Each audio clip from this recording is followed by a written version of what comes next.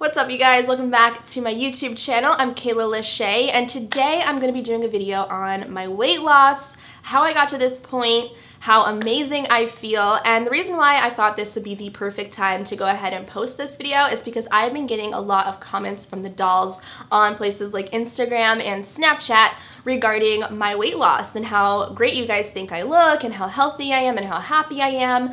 And it's all true. I feel so mentally happy in that state of mind where I just feel my ultimate best.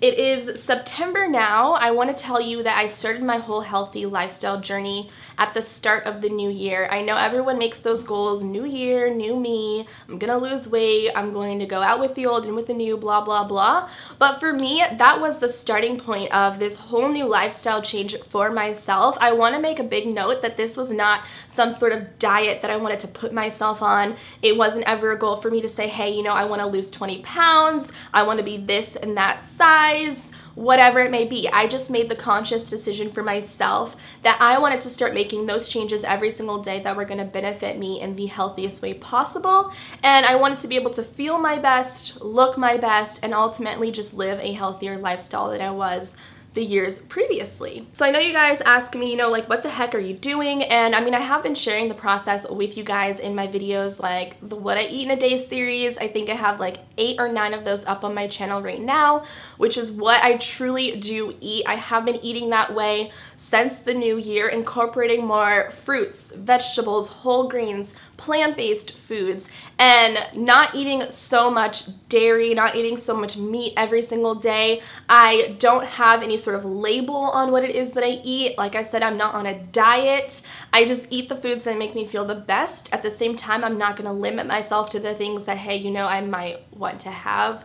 I've also never really been big into eating like sugars or ice cream or candy. I have more of like the salty tooth, which isn't necessarily any better, but I just don't crave those sweet treats and stuff that most people love to eat. So I'm kind of blessed in that sense. But I will go ahead and leave my video series, my healthy lifestyle playlist that I have that contains, you know, what I keep in my fridge, what's in my pantry, what I eat in a day. When I'm cooking foods at home, that is what I make for myself. When I go grocery shopping, those are the foods that I tend to buy more plant-based, organic type of food so I can create delicious meals and also making new things that I've never had before, trying out new things that I've never had before. Like recently in the past couple of months, I have been trying out vegan meats like soy-based proteins and I was very like scared at the thought of eating like fake chicken barbecue wings like what the heck does that taste like? But my brother actually while he was in town we decided to try a bunch of things and that made the process a lot easier for me. And it turns out I liked most of it so I have been incorporating some of those fake meats into my diet to replace things like greasy chicken wings. Not to say that I won't ever eat chicken wings but it's just a healthier alternative and I think that everything is fine in moderation and that's what I've sort of taught myself is it's okay to have whatever this is in a moderate portion. Another thing that I did, you guys, over the course of these nine months. I mean, honestly, things do take time to see change, but once you keep up the same pace, you're gonna see change regardless. So it's important not to give up on yourself and to remember that you're doing this for yourself.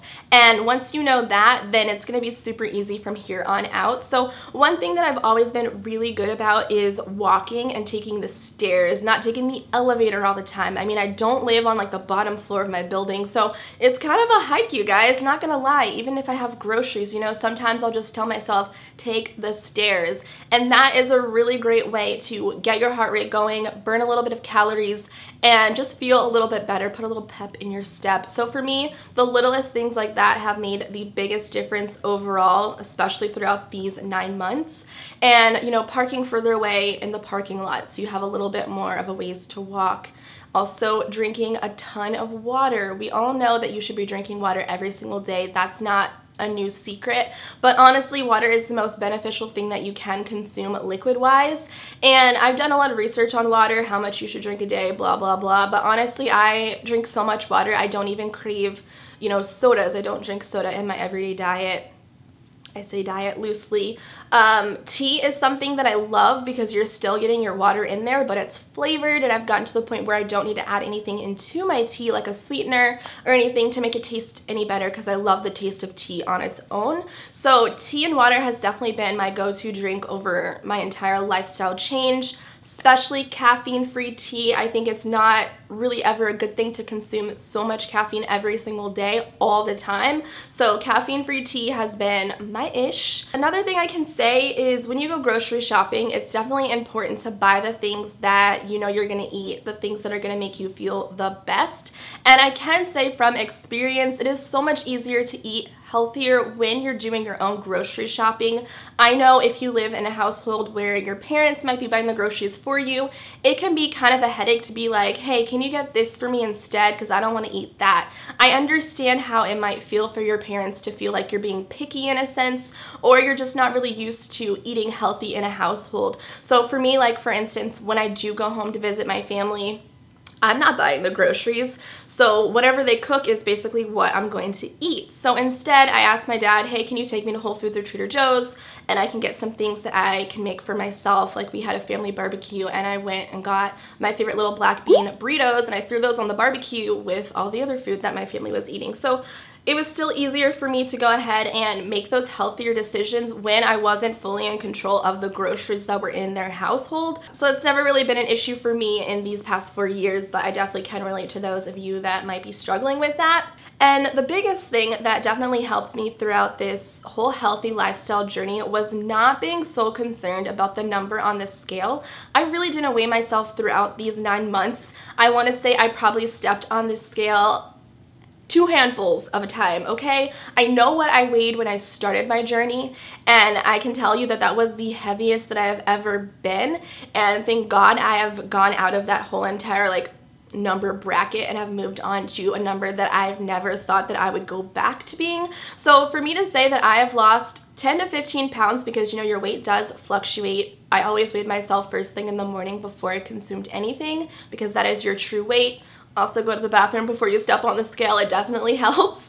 But I don't think that a number really defines your beauty. It doesn't define you as a person. And you should never ever let people ever tell you who you are based on your weight or your appearance. I think that is a decision for yourself that you need to decide whether or not you feel your best or not. And if you don't feel your best at the weight that you are and you don't feel mentally happy with who you are, then I think it's important that you check in with yourself and make those little changes every single day to get you to the place of where you want to be. Everyone has their own vision of what is beautiful to them and what they would like to look like and how they would like to ultimately feel. So I think everyone just needs to go ahead and do them, focus on their life path and where they want to go and not worry so much about the next person and what they're doing, what they're eating, what their workout routine is. You need to do what's best for you and do what you can handle. I think little steps are better than no steps at all. And it's always best to start today and not say, I'm gonna start tomorrow, because tomorrow, tomorrow, tomorrow may never even come. And I'm guilty of that, especially when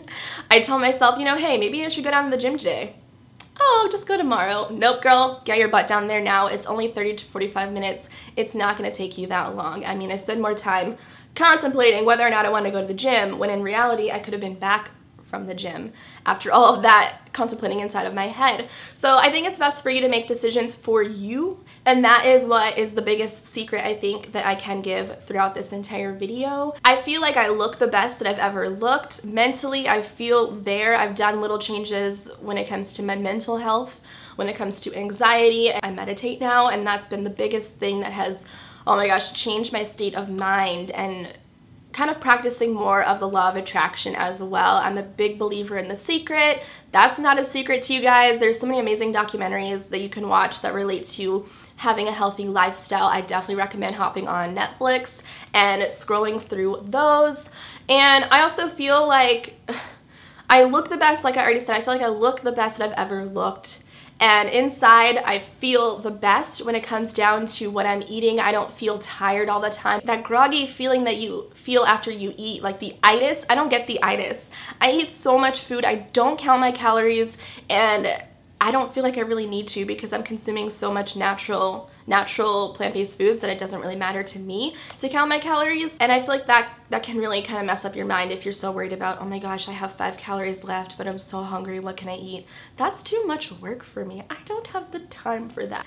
Hopefully this video helped some of my dolls that were curious to know, Kayla, what the heck have you been doing to look the way that you do, to feel the way that you do? This is my own personal secret. It takes time, you guys, just know that. But I hope that this video might have motivated somebody to make those little tiny steps in their day to improve their overall health and their lifestyle as well. So thank you guys so much. I'll see you in my next video. Bye!